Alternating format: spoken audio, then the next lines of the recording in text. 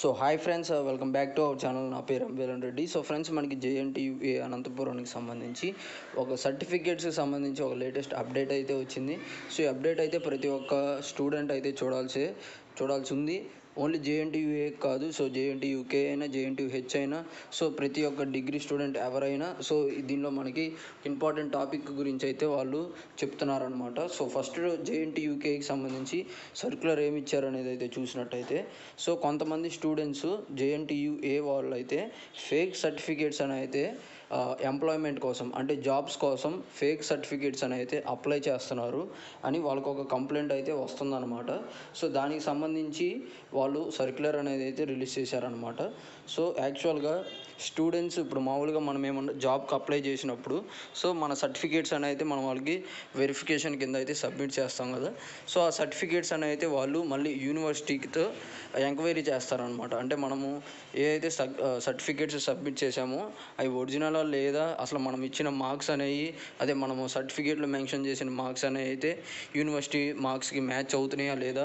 So ఇవన్నీ details అయితే వాళ్ళు చెక్ చేస్తారు అనేది అయితే సో ఈ మనకి ఫస్ట్ పేరాలో వాళ్ళు క్లారిటీగా అయితే చెప్తున్నారనమాట సో ఈ విధంగా కానీ ఎవరన్నా జేఎన్టీయూకేకి సంబంధించిన స్టూడెంట్స్ ఈ విధంగా కానీ ఫేక్ సర్టిఫికేట్స్ కానీ ఇచ్చినట్టు వాళ్ళ నోటీసులోకి అయితే వస్తే సో అప్పుడు వాళ్ళు సర్టి ఎవరైతే సబ్మిట్ చేశారో వాళ్ళ నియరెస్ట్ పోలీస్ స్టేషన్లో వాళ్ళ స్టూడెంట్ మీద కేసు అనేది అయితే పెడతారనమాట అండ్ దాంతోపాటు వాళ్ళ నేమ్ అనేది అయితే సో యూనివర్సిటీ అఫీషియల్ వెబ్సైట్లో కూడా వాళ్ళు ప్లేస్ చేస్తామని చెప్తున్నారు.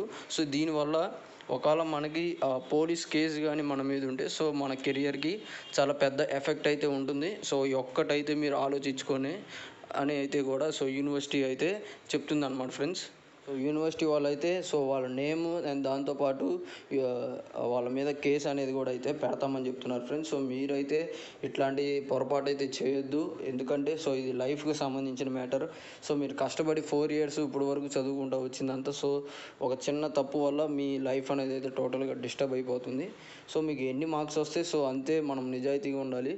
సో జాబ్ వస్తే వచ్చింది లేదా లేదు. సో దీ ఇట్లా చిన్న తప్పు చేయడం వల్ల సో మన కెరియర్కే పెద్ద ఎఫెక్ట్ అనేది అయితే జరుగుతుందన్నమాట. సో నెక్స్ట్ ఒకవేళ మార్క్స్ తక్కువ ఉన్నా సో మన టాలెంట్ని చూసి ఇచ్చే వాళ్ళు కూడా ఉంటారనమాట జాబ్ సో టోటల్గా ఓన్లీ ఎడ్యుకేషన్ మీదే మనకి జాబ్ అనేది అయితే డిపెండ్ అయ్యి ఉండదు.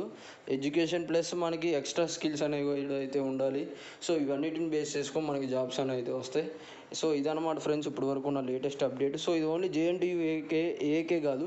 సో జేఎన్టీయూ కే అయినా ఏ డిగ్రీ స్టూడెంట్ అయినా ఏ స్టూడెంట్ అయినా సో ఇట్లా ఫేక్ సర్టిఫికేట్స్ వల్ల ఇట్లా ఫేక్గా చేస్తే మనకి ఎప్పుడన్నా దొరికిపోతాం. సో దానివల్ల మనకి ఎప్పుడైనా ఎఫెక్ట్ ఉంటుంది కాబట్టి సో నిజాయితీగా ఉండండి. సో నిజాయితీగానే మనమైతే అంతా చేసుకోవాల్సి ఉంటుంది.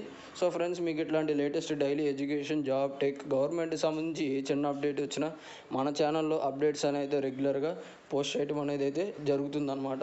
సో మీకు ఈ వీడియో నచ్చితే తప్పకుండా లైక్ చేయండి.